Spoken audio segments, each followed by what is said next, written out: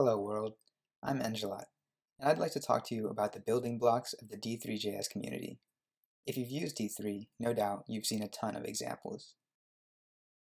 Examples are a great way to see the capabilities of the library, and with thousands of shared code examples online, there's no shortage for learning how to use D3.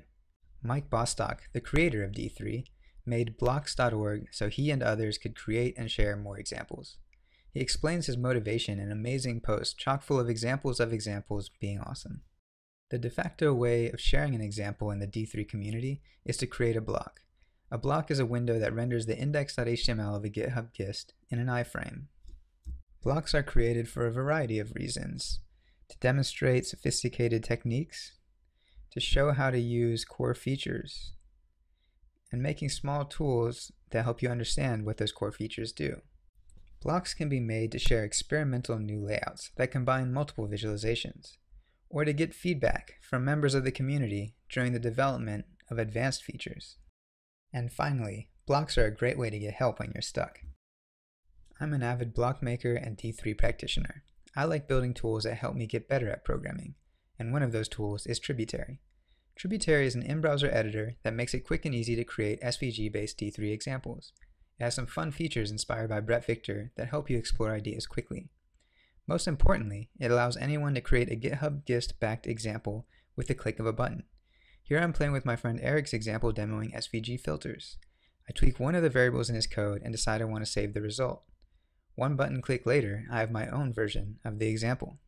Unfortunately, tributary gists aren't compatible with blocks. So what do we do if we want to make our own block starting from a cool example? First, we are going to navigate to the gist that backs it. The gist is where the code is stored, so we want to fork it to our own gist for editing.